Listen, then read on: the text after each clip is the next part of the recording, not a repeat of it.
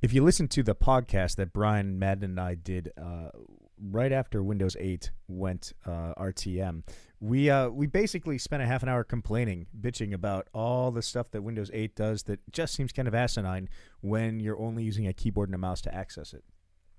Uh, one of those things is the fact that it boots up directly into Metro.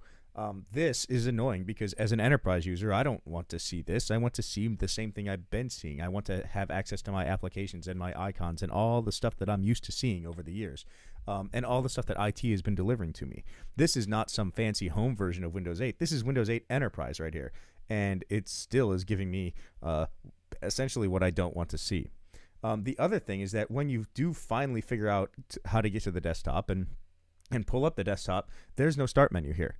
So I'm running this in parallels. And the hot corners on this happen to be the same uh, hot corners that I use in the Mac. Except the thing is, is that I know what the hot corners do on my Mac. So there is no start menu here anymore. And that's a problem because users, again, have been trained to go there for almost 20 years now. So uh, we need a solution for that. And uh, I had lunch with uh, BriForum speaker uh, and a friend of mine, Dan Brinkman, uh, last week, and he told me about this tool called Classic Shell.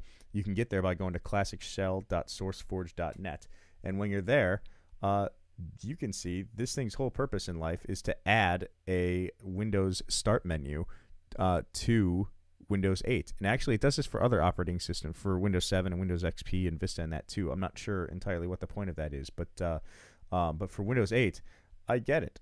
So I want to try this thing out. Um, I haven't done it before, so I figured I would just kind of record my first experience with it, uh, and we'll do this in a couple of minutes here. Uh, we'll might as well just wait for it to download here. Um, and what the hell? We'll throw caution to the wind and just accept everything. Um, there we go. Next, next, next. Interesting. All right, well, whatever. I don't need to see the help file for that. Um, so here, it's installing a Classic Explorer, Classic Start Menu, Classic IE9. It'll auto update. It looks like cool. So install, of course.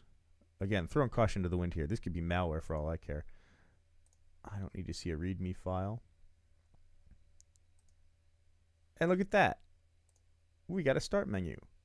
Oh, okay. We have to configure. Which one do we want? Windows Classic, XP, or Vista? Well, let's go with this one.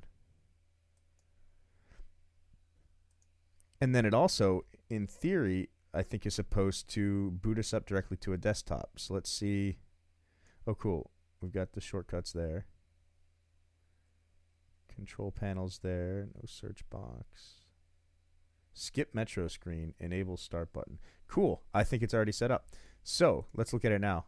Awesome. We have access to control panel from here. We don't have to do this funny thing where we go off to the side and then patiently wait for uh, what a pain in the neck. Anyway, we have access to all of our typical start menu options. Now, the true test here is to restart. We might see my Mac here, but let's see if it boots directly into the desktop. Come on. Cross your fingers. Oh, Metro tried to come, but it was blocked. Nice.